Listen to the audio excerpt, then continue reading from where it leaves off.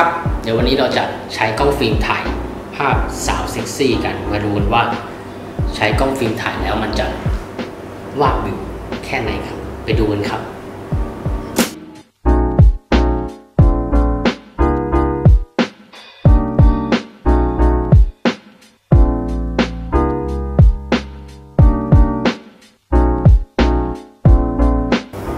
ครั้งนี้เราใช้เป็นกล้องคอมแพคฟิล์มเป็น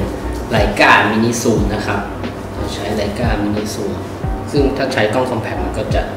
คำนวณให้เราอัตโนมัติเลย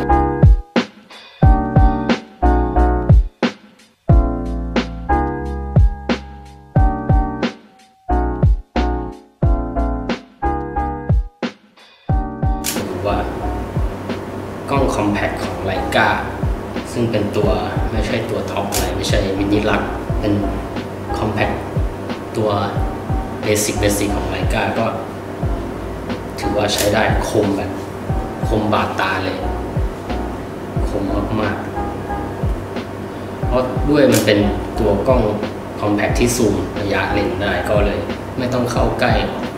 เราซูมได้เลย อันนี้เป็นย้อนแสงย้อนแสงก็จะประมาณนี้เลย มันเป็นกล้องที่คำนวณให้อัตโนมัติเราก็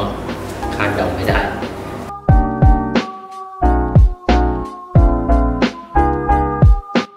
แต่ที่เด่นๆเลยคือคอนทราสต์ของเขากับความคมที่แบบคมมากๆ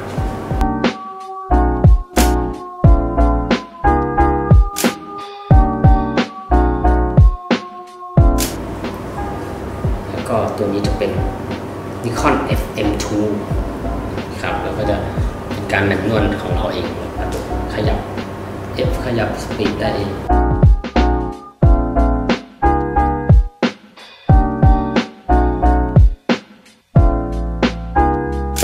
ที่มืดมีแสงรอดเข้ามาจากหน้าต่าง เราก็ใช้แค่ ISO แค่ 200 ก็เหลือเฟือนานๆทีก็จะได้ถ่ายอะไรอย่างนี้นะครับ ก็ไม่ค่อยถนัดเท่าไหร่ครับมีมือสั่นสายบ้าง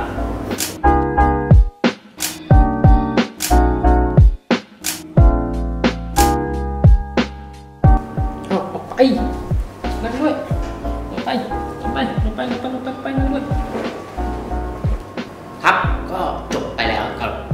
ใช้ฟิล์มถ่ายรูปสาวๆเป็นยังไงกันบ้างก็ว่าวิวแค่ไหน เดี๋ยวคลิปต่อไปจะเป็นอะไรก็ฝากติดตามด้วยนะครับ อย่าลืมกด subscribe กดกระดิ่งแจ้งเตือนกริ๊งกริ๊งกริ๊งให้ด้วยนะครับ